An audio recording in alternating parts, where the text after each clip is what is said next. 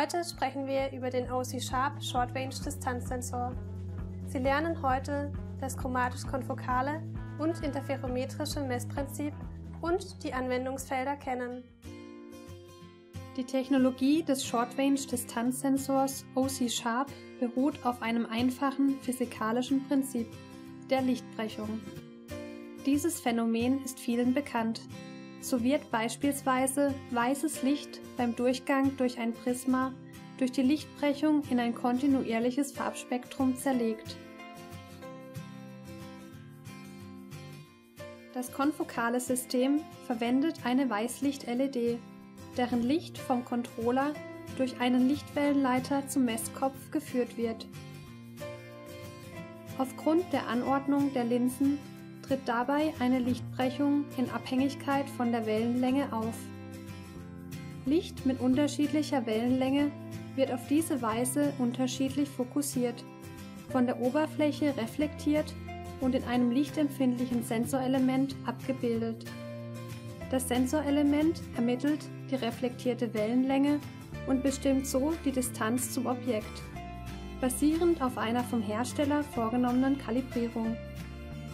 Für vielfältige Einsatzmöglichkeiten stehen unterschiedliche Sensorköpfe zur Verfügung.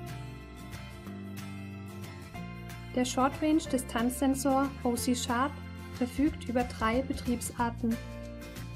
Betriebsart 1 Mit der chromatischen Distanzmessung können Topographie, Profil- und Rauheitsmessungen durchgeführt werden. Betriebsart 2 Chromatische Dickenmessung kommt bei der Dickenmessung von transparenten Objekten zum Einsatz. Betriebsart 3 Interferometrische Schichtdickenmessung empfiehlt sich, um hauchdünne und mehrlagige Schichten zu messen. In Kombination mit der Auswahl an unterschiedlichen Sensorköpfen eröffnen sich so viele Anwendungsfelder.